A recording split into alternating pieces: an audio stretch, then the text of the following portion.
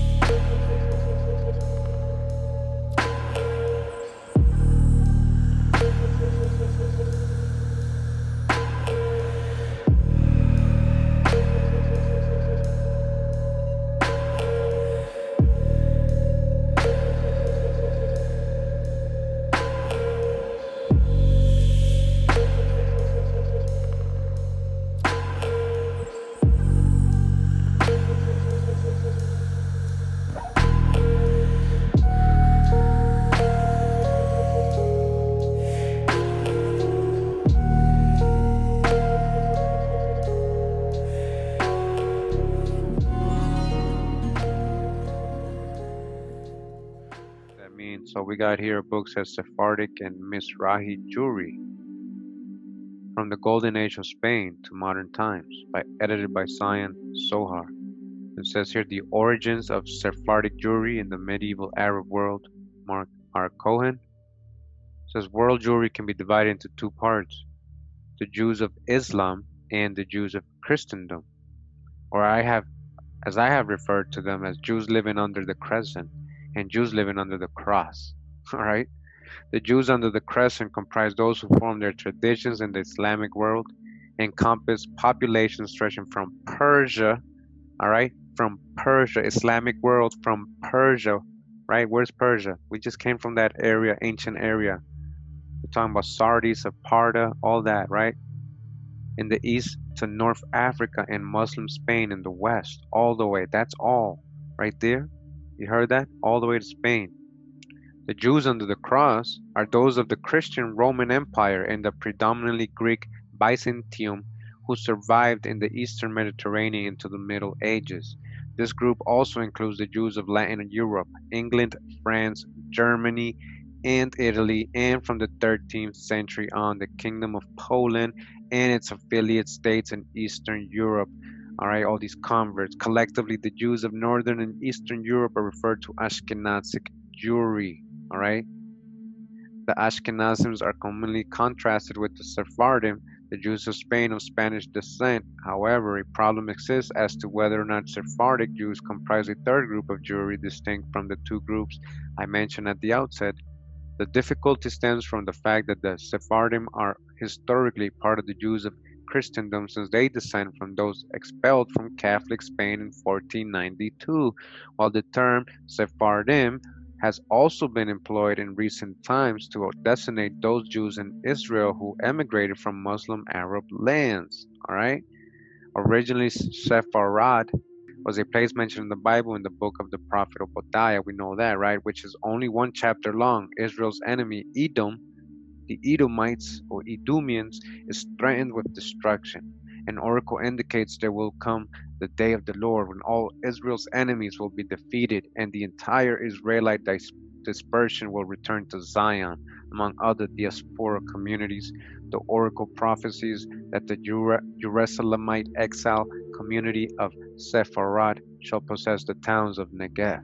Here, in other words, Sepharad was a place in ancient Jewish diaspora. It was thought to be Sardis in Asia Minor, right? We just read that. It was thought to be Sardis in Asia Minor. Well, what happened? The Aramaic translator of the Bible renders Sepharad by the word Aspamia, presumably thinking of Apamia, city in Mesopotamia. But the word sounded similar to Hispania, an ancient name for the Iberian Peninsula. The Jews who lived in Muslim Spain in the Middle Ages believed they were descendants of the Jewish nobility of Jerusalem who were captured by the Romans and later deported to Rome and Spain. After the destruction of Jerusalem in the first century CE, these medieval Spanish Jews concluded that Sepharad in the oracle of the prophet Obadiah meant Spain, and therefore they called themselves Sephardim. All right, now a little further down, I want to get into the what, why I came to this book. It says Sephardic civilization began long before the Reconquista, in a time when the peninsula was ruled by Muslims and when Arabic culture surrounded and influenced the Jews. What? Arabic culture influenced the Jews. Sephardic society in the medieval Arab world was characterized by several features its sense of noble descent, its tradition of service to Gentile rulers, its tradition of service to Gentile rulers. Why were they doing that? Its high cultural achievement in philosophy and poetry, and its history of crypto Judaism, secret Judaism, the secret continued practice of Judaism after apparent conversions under duress.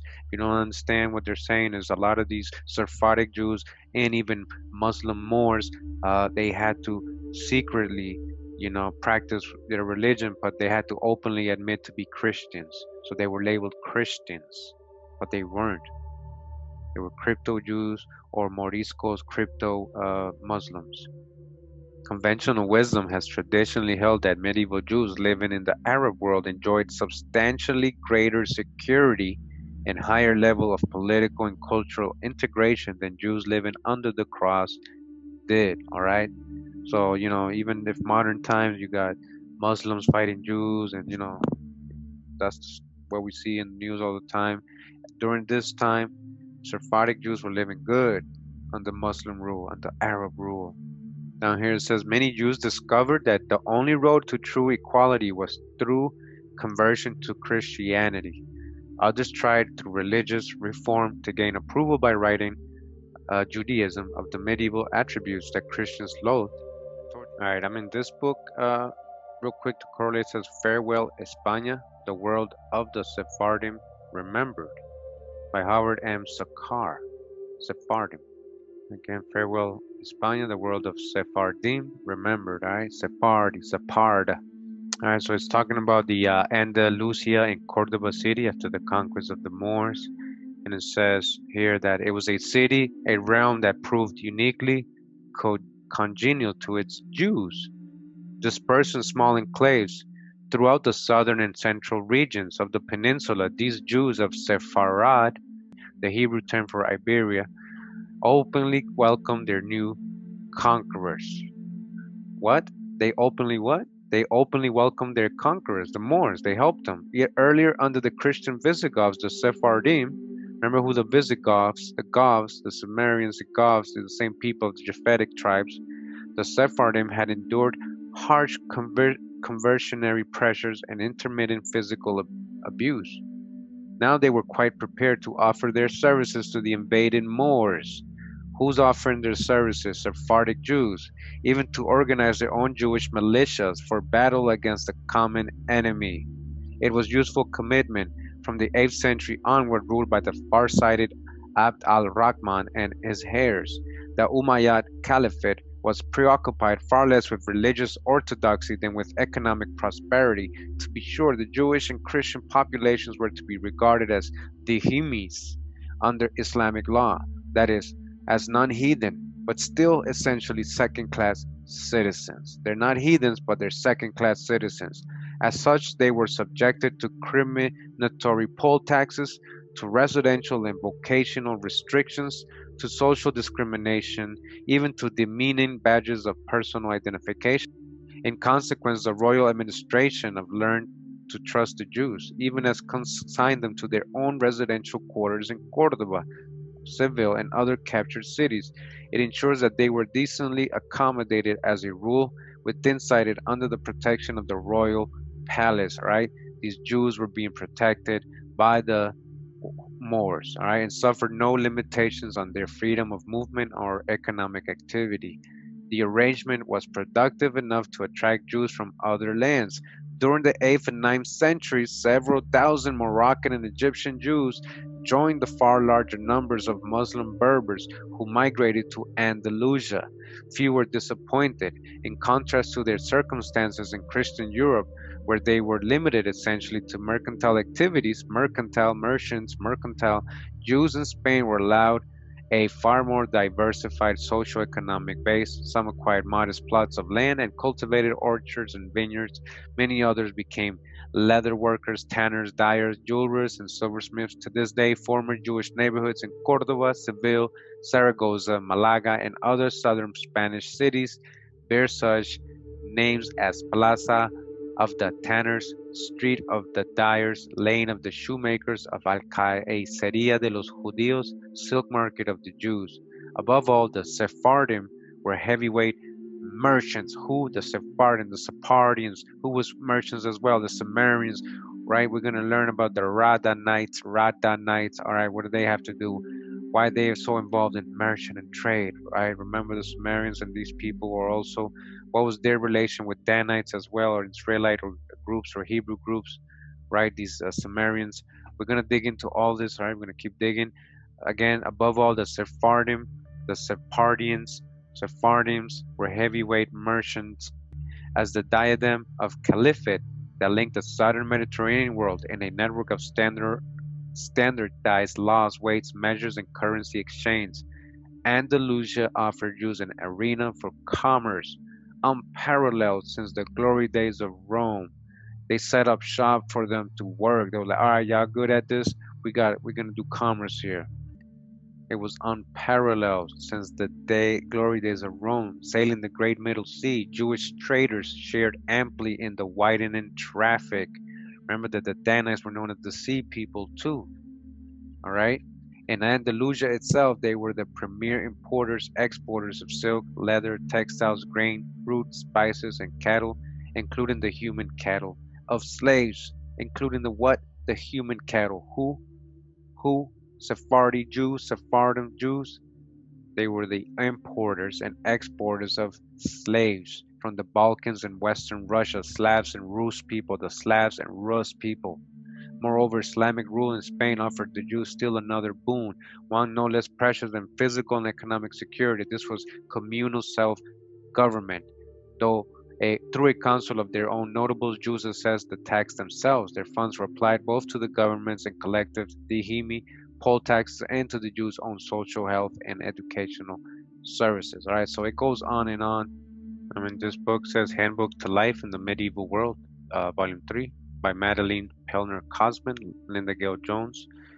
It says here in this part, Sepharad, the Jews of Al Andalus.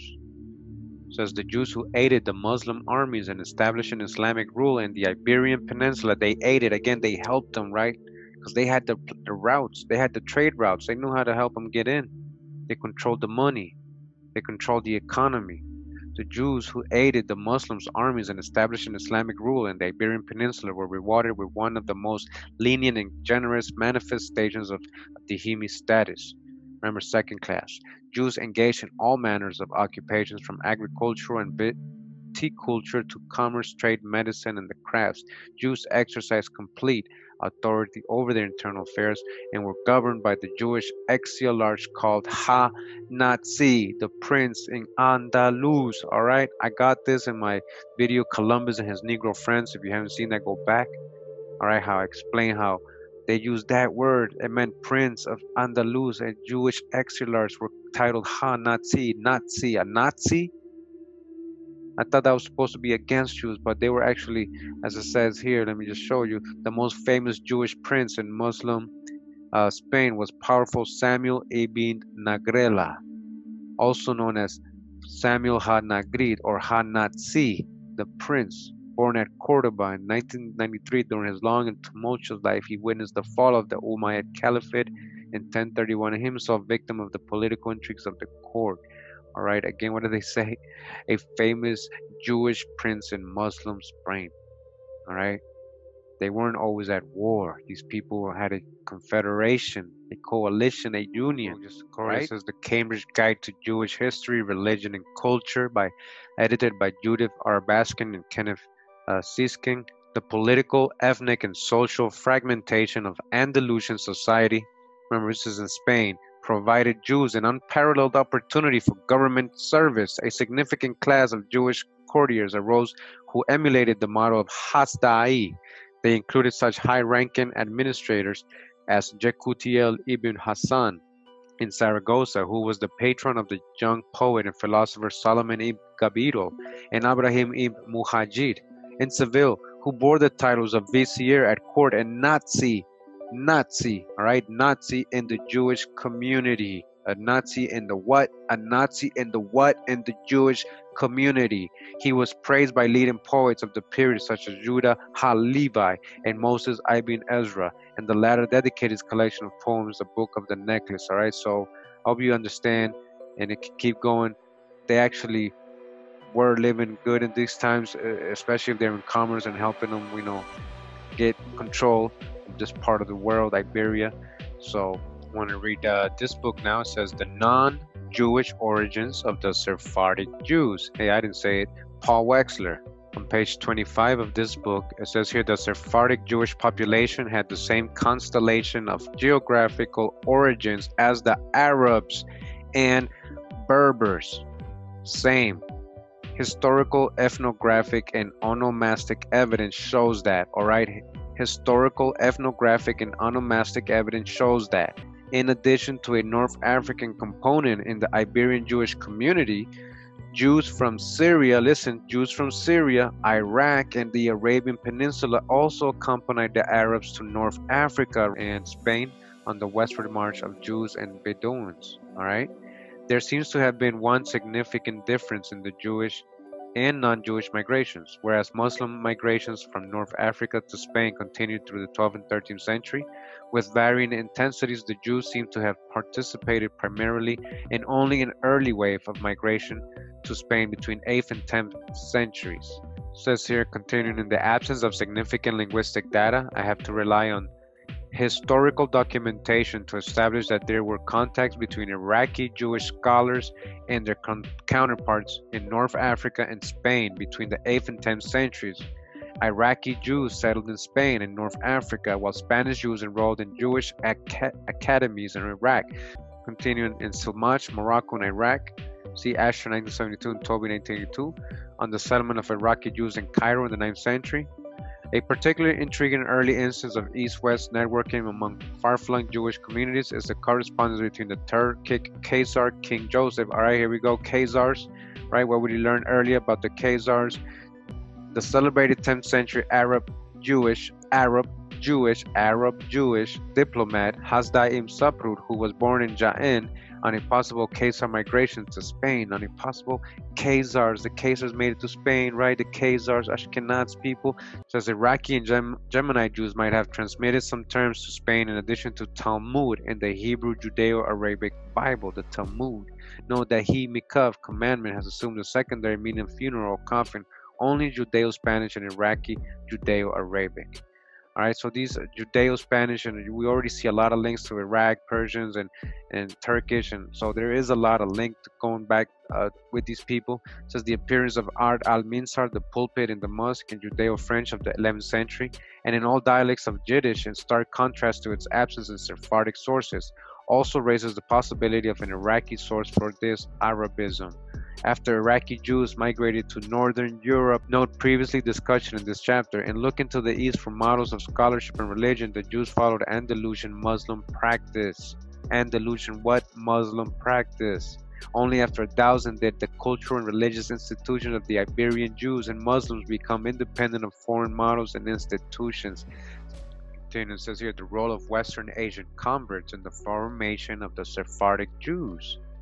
Western Asian, Western Asian converts, converts, the acts of widespread conversion to Judaism that might have influenced the formation of the Iberian Jewish communities must be sought in the peninsula and in North Africa, Arabia, Arab and Himyarite territories both and in Iraq before and after the institutionalization of Christianity. And uh, guess what? So they admitted, they basically took out pages 28 and 29 from this preview so we can't know, but they were about to get into the drop here.